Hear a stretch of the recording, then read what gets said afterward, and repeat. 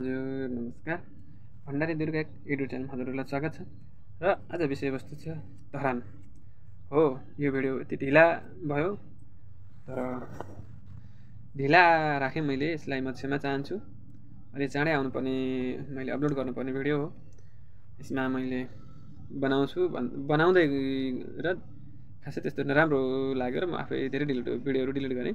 र यो भिडियो अलि फरक तरिकाले बनाएँ। त्यसपछि म अपलोड गरेको छु हजुरमाझ र धरानका जनतालाई भनिन्छ जनता भनेर जो कि उहाँको धरानको मेयर हुनुहुन्छ।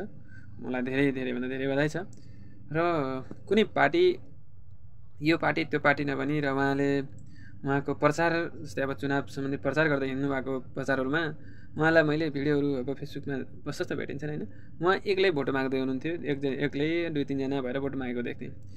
त्यो र पार्टीका धेरैजनाहरू भिड भिड लाएर अरूले जित्छ जस्तो थियो त्यहाँ माहौल।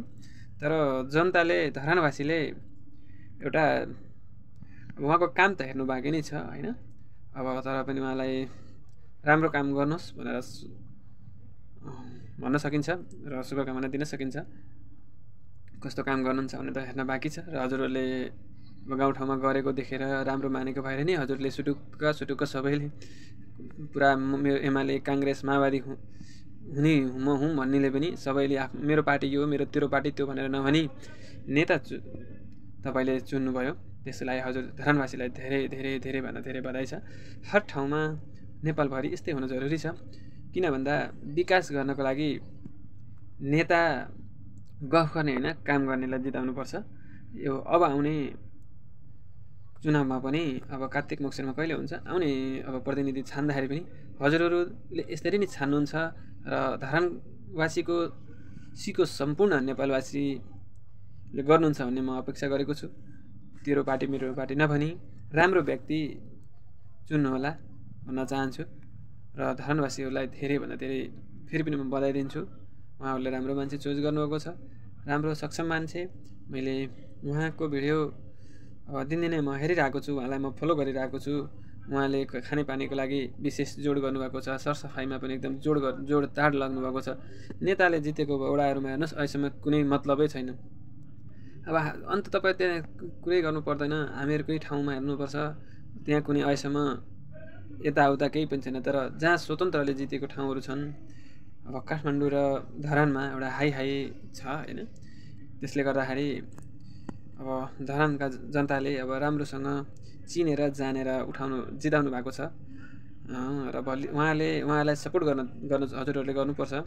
कुनै राजनीतिक दलले तलमाथि गर्नको लागि या काम गर्न नदिनको लागि अवरोध गर्न सक्छन्।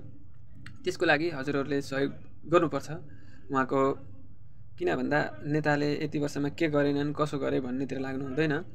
र उहाँले जति काम गर्दै जानुहुन्छ तपाईँहरूले विश्वासको साथ उहाँलाई साथ दिनु अनुरोध गर्न चाहन्छु। भण्डारी दुर्गा युट्युब च्यानल हजुरहरूले हेरिदिनु भएकोमा हजुरहरूलाई धेरै धेरै धन्यवाद। र सब्सक्राइब पनि गरेर सहयोग गरिदिनु होला भन्न चाहन्छु। हस् त जय नेपाल। जे जे समस्या छ सम्पूर्ण र धरानका मेयर सरलाई मेरो विनम्र अनुरोध छ उहाँसँग यो भिडियो पुगेछ भने हजुरले कृषिको लागि एकदम इम्पोर्टेन्ट एउटा काम गर्नुहोला। तपाईँले प्रत्येक कृषक जसले व्यवसाय गर्न चाहन्छ त्यसको लागि इम्पोर्टेन्ट एउटा तपाईँको ठाउँमा कोल्ड स्टोर स्थापना गर्नुहोला।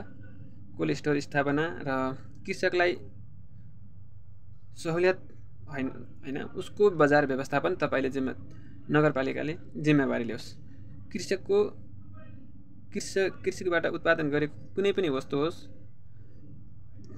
नगरपालिकाले जिम्मा लियोस् त्यसको बजार व्यवस्थापनको जिम्मा लियो भने कृषकलाई अनुदान भन्दा पनि त्यो अनुदान सबभन्दा ठुलो हुनेछ।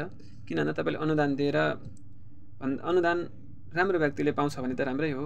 तर जस नेपालमा अनुदान पाउने भनेको जसको हातमा पहुँच त्यसको हातमा तर तपाईँ स्वतन्त्रबाट उठ्नु भएको छ त्यसले जनताको मर्म त तपाईँले बुझ्नु भएको छ थाहा छ।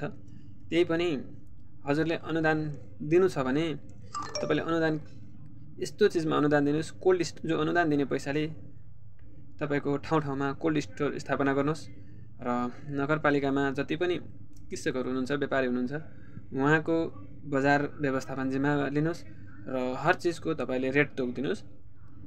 ठाउँ ठाउँको तपाईँहरूको ठाउँमा कहाँ के छ सबैको समयअनुसार रेट तपाईँ टोक नगरपालिका तोक्दै तपाईँले नगरपालिका सब सम्पूर्ण वडाहरूमा तपाईँले प्राइजहरू राखिदिनु हो भने धेरै सजिलो हुनेछ किन्नेलाई पनि र बेच्नेलाई पनि।